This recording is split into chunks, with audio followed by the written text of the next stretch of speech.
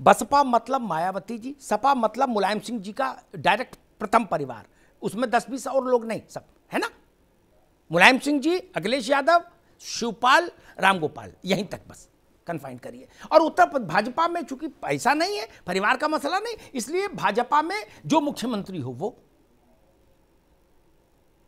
बाकी नहीं कोई, ना? मायावती जी और आनंद, उनका परिवार, आनंद का बेटा। वहाँ तक है मामला। वहाँ तमिलनाडु में लड़ाई हुई तो जयललिता वर्सेस करुणानिधि करुणानिधि वर्सेस जयललिता। पंजाब में सब एक दूसरे के कपड़े फाड़ते रहे, लेकिन ना तो कभी अमरिंदर ने अकालियों को मतलब बादल परिवार को गिरफ़्तार किया, ना बादल परिवार ने कभी अमरिंदर को गिरफ़्तार किया। यही तो फैक्ट है। चिंटू पिंटू तो गिरफ़्तार होंगे वो भी नहीं होंगे तो कैसे देश चलेगा। थोड़ा बहुत तो टेरर के लिए करना पड़ता है, डंडा हाथ में रखने पड़ेगा। सब जानते भी हैं। अच्छा चेलों को डिसोन करने में भी किसी पार्टी को कितनी देर लगती है? नावेद भाई जानते हैं। अच्छे अच्छों को भुला देते हैं, पार्टी भगा देती है। क्या? बोले, ज़्यादा बवाल हो गया, बोले, इसको हटा दो, ठंडे बस्ते में डाल दो। मैं उनको कह रहा हूँ, जो ठंडे बस्ते में नहीं डाले जा सकते, जो खुद पार्टी है। कांग्रेस मतलब राहुल गांधी, प्रियंका गांधी। सोनिया जी। प्रियंका जी के खिलाफ कोई मुकदमा करे, राहुल गांधी के खिलाफ करे तो समझ आए। अब प्रियंका गुप्ता के खिलाफ एफ़ आई कर दी तो उससे क्या होगा? प्रियंका गुप्ता कांग्रेस नहीं है ना? बहुत लफड़ा हो जाएगा कांग्रेस, कह देगी इनको निकाल दिया पार्टी से। मंदिर की मुख्य मूर्ति कहाँ है? मेरा प्रश्न वो है। और एक बात और कह के बात को समाप्त करूँगा। जैसे मैंने एक प्रश्न रखा कि तीन साल का दो साल का आयु में रिलैक्सेशन देना इतना पुनीत कार्य था जिसमें एक रुपया नहीं लगना था, है? पचास ग्राम मूंगफली जितना भी पैसा नहीं लगना था। और लाखों लाख नौजवान प्रसन्न होता, उसको राहत मिलती। एक बात और छोड़ के जाता हूँ। मेरी निगाह वहीं जाती है। अखिलेश जी सरकार में थे, तब भी वहीं जाती थी। तब उनको, उनकी, इनकी पार्टी को मेरी बात अच्छी नहीं लगती थी। वो कहते थे नहीं अमिताभ जी तो हम जब बोलते हैं, ऐसे बोलते हैं। अब भाजपा वाले कह सकते हैं, ठीक है।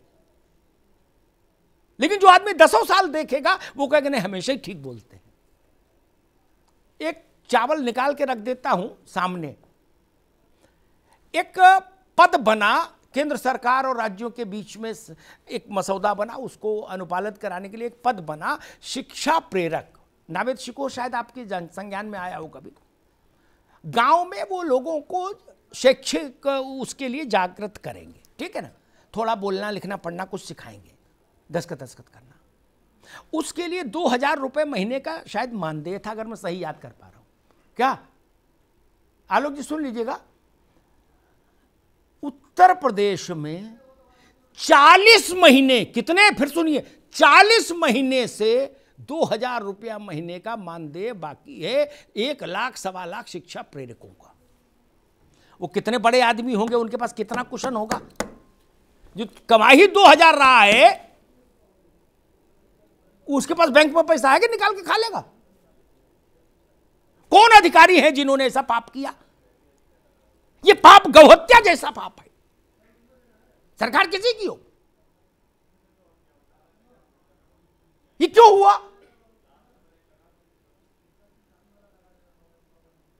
मैं देख रहा था, किसी ने मुझे मैसेज किया, मैं विभाग भूल रहा हूँ। उन्होंने कहा, सर, ये भी मसला उठा दीजिएगा, चार महीने से हमारा वेतन नहीं आया। हमने चीफ सेक्रेटरी के यहाँ चिट्ठी भेजी, फलाने के यहाँ भेजी, दिखाने भेजी, लेकिन हमारे विभाग में चार महीने से वेतन नहीं मिला। वेतन निस्तारण एक सामान्य प्रक्रिया है, बाबुओं के स्तर की प्रक्रिया है। उसके लिए राजज्ञा नहीं चाहिए, उसके लिए विधानसभा नहीं चाहिए। ये भी भूल जाते हैं क्या बाबू लोग, कि वेतन भी देना है? और अगर ये भी भूल जाते हैं तो काम फिर याद क्या रखते हैं? फिर सिवाय इसके क्या याद रखते हैं कि ढोकला मंगाऊ, सर? या आज गुजिया मंगाता हूँ, सर, हल्दीराम की? अभिषेक बाबू, आप भी मुस्कुराइए नहीं। आपके नेता खाना खाने बैठे, नावेद भाई तो आसपास ही रहे होंगे उस दिन। सरकार थी आपकी। राजेंद्र चौधरी और सब लोग बैठे, अखिलेश जी भी थे या अखिलेश जी नहीं थे?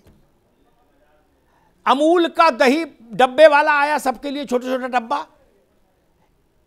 अब अमूल का दही किसी ने घर में तो बनाया नहीं। एक डब्बे के ऊपर राजतंत्र शर्मिंदा हो जाए, वो जलवा। एक डब्बे के ऊपर नावेद भाई, एक बाल, किसी स्त्री पुरुष का ह्यूमन एक बाल चिपका मिला। है? कहीं से भी चिपक सकता क्या? छह लोग सस्पेंड हो गए थे, छह! बोले, माँ बदौलत की शान में ये गुस्ताखी किस कमजर्फ ने की है? जिवह कर दो, जिवह। क्या? छह लोग सटाक से बाहर। अब फिर आप लोग कहते हो कि अमिताभ जी, ऐसे प्रसंग मत बताया करो। ना, ये ठीक नहीं। तो क्या बताऊँ? मुझसे लोग पूछ, वो बच्चे कह रहे हैं कि अमिताभ जी, ये प्रश्न आप पूछ लीजिएगा कि हम लोगों ने कौन सा गुनाह किया? हम लाख, सवा लाख शिक्षा प्रेरक हैं, हमको चालीस महीने से पैसा नहीं मिला। और चालीस महीने के एक आदमी का पैसा कितना हुआ प्रियंका जी? अस्सी हज़ार रुपया कुल। क्या? जिन लोगों को सैलरी देनी है ना, दस्खत करते होंगे बिल बिल बनाते, वो सर आई अधिकारी की एक महीने की भी तनख्वाह नहीं है ये। हम्म? जो बापू भवन और बाकी भवनों में बैठ रहे हैं। उनको क्यों चिंता होगी गरीब की? इसके लिए राजनीतिक नेतृत्व होता है। इसीलिए मैं हमेशा कहता हूँ पॉलिटिकल लीडरशिप इसीलिए है ना कि जहाँ पर नौकरशाही शिथिलता बरते, वहाँ पर सख्ती हो। क्योंकि इसका नुकसान नौकरशाही नहीं उठाती। नुकसान तो पॉलिटिकल लीडरशिप को होगा, क्योंकि चुनाव में नौकरशाही नहीं जाती, केवल राजनीतिक लोग ही जाते हैं ना। इसलिए मैं कहता हूँ, और कार्रवाई में आगे से वो प्रसंग नहीं इंक्लूड होंगे। नेताओं ने एक दूसरे के खिलाफ कार्रवाई की, जिनमें कोर्ट ऑर्डर कर देता कि एफआईआर करके हमको बताओ और मॉनिटरिंग हम करेंगे, और नहीं तो चीफ सेक्रेटरी और डीजीपी को तलब करो, इनको जेल भेजेंगे। उसके बाद तो कोई विकल्प ही नहीं बचता। नावेद जी, कोई बचता है? नहीं बचता ना? उसके बाद जो ना करो तो जेल जाओ।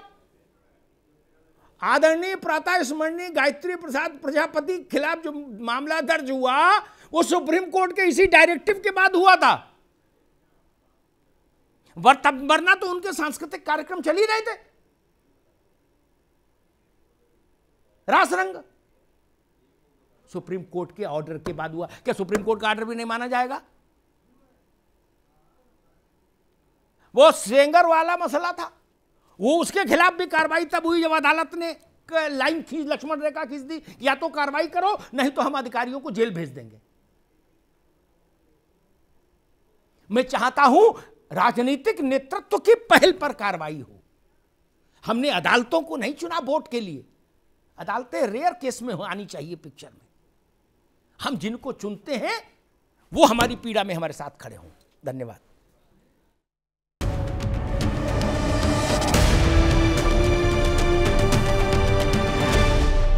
अब उत्तर चाहिए। ब्रॉट बाय केसरी मरहम एवं तैलम, वर्षों से दर्द पे सबसे ज़्यादा असरदार। And Prayag PTMT bath fittings and accessories quality बेमिसाल, लिख के ले लो।